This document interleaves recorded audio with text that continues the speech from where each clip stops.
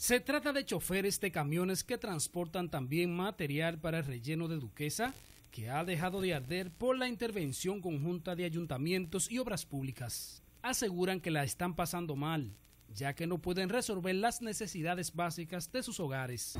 Aquí mismo esta misma compañía no nos pagan. Tenemos, ya vamos para tres quincenas y no nos cobrado. ¿Le afecta eso a ustedes? Claro, claro. Pero si uno no, no cobra, ¿cómo, cómo eh, resuelven los problemas? Expresaron que trabajan todos los días para mantener a su familia, por eso reclaman una deuda que supera los 12 millones de pesos. Claro que me afecta porque yo tengo familia, tengo dos niñas.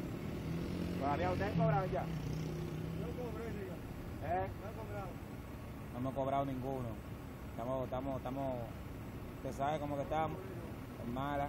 Los camioneros cargan el material relleno como parte del proceso que implica apagar los incendios que se producen en el vertedero de Duquesa. Claro, sabes que si no mantienen a uno así, ¿cómo uno va a trabajar?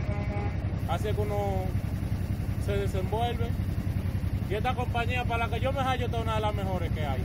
Los transportistas que trabajan en Duquesa que pertenecen a compañías privadas advierten que si no hay acuerdo en las próximas horas, su protesta se podría reflejar en las operaciones del vertedero. Juan Francisco Herrera, RNN.